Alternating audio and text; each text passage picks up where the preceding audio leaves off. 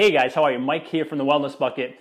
You guys have morning habits or morning rituals. I'm sure you probably have heard of, you know, the importance and how they set you up for the whole day for being more productive, more active, more clear minded, whatever it may be. So maybe you have them, maybe you don't. And one of the biggest things is, is finding the time to do it, right? Luckily, I have myself like an hour in the morning to exercise and do all these different things in the morning that I do. But what, what happens if you don't have that hour or that 45 minutes or that hour and a half? What happens if you only have 15, 20 minutes?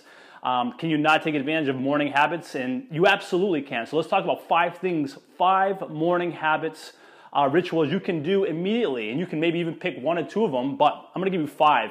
And you can literally get them done within five, six minutes every morning, preferably to set your day up to be, um, be productive, be, be successful, be active. Number one is exercise. And it's like, well, look, I don't have time to exercise one minute. you pick the exercise and go one minute, whether it's burpees, whether it's jumping jacks, whether it's push ups, one minute of whatever exercise you want to pick.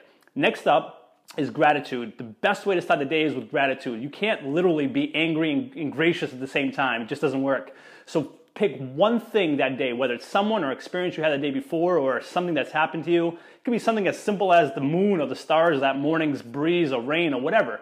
Pick one thing that you're grateful, grateful for and write it down. Keep a gratitude journal, whatever. Write it in anything.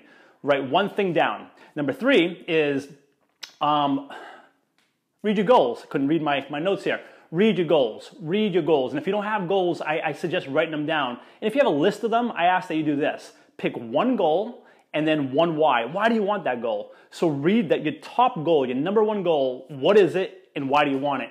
So read, read that, look at that every morning. So that's number three. Number four is um, meditate. And like, what? I don't have 10 minutes, 15 minutes to meditate. When we talk meditation, we just talk about breathing, like just controlling our breath. And literally, it'd be like breathing. This is this is an example. Five seconds in, hold two, five seconds out. I feel better just from doing that. Do that for one minute. So you can call that breathing, meditating, whatever you want to call it. Number four is meditate, breathing for one minute, one minute, five seconds of breathing in, hold two seconds, five seconds out. And then lastly, pick a book and read one page. Read one page, which will probably take you about a minute, two at the most. And that is your five morning routines, habits, rituals, call them what you will, that will absolutely set you up to have a successful day. I ask you this, I have a challenge for you. Try it for the next seven days. Try it for the next seven days and see if it makes a difference.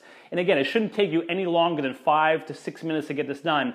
And as Tony Robbins says, if you don't have 10 minutes a day, you pretty much don't have a life. And I'm not even asking for 10 minutes, I'm asking for five minutes. So again, just to recap, number one, exercise. Pick one exercise, do it for one minute, whatever it may be, whatever exercise you want.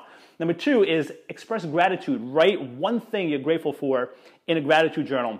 Number three is read over your number one goal. Just read your number one goal and the why. Why do you want that goal? Uh, number four is meditate or focus on breathing for one minute. One minute, five seconds in, exhaling, I mean, inhaling, two seconds hold, five seconds exhaling. And lastly, um, read. Pick a book and read one page, one page in that book every day.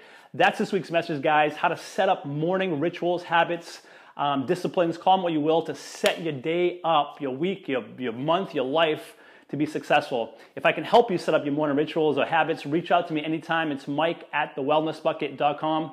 You're awesome. Have a great week ahead. Until next week, cheers.